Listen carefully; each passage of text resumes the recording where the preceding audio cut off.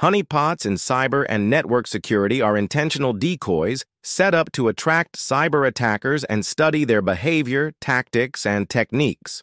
Essentially, a honeypot is a system or network resource that appears to be a legitimate target, but in reality, it's isolated and monitored for security analysis.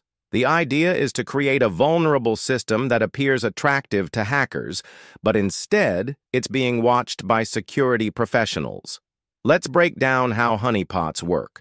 It will look like a regular system or network with weaknesses, like outdated software or poorly configured settings. The hacker believes they've found an easy target and proceeds to exploit it. Once the attacker interacts with the honeypot, security experts gather valuable data on their methods, tools, and objectives.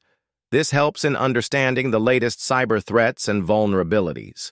Honeypots help in identifying new attack methods and malware by observing real-time attacks. In addition to this, by using honeypots, legitimate systems and sensitive data can be protected as attackers are diverted to the honeypot. As a result, security teams can analyze hacker behavior, learn about their techniques, and develop better defenses. Ultimately, honeypots play an important role in network security, allowing organizations to monitor and log cyber threats without compromising their primary systems. I hope you found this video helpful. If you did, please like, share, and subscribe for more content like this.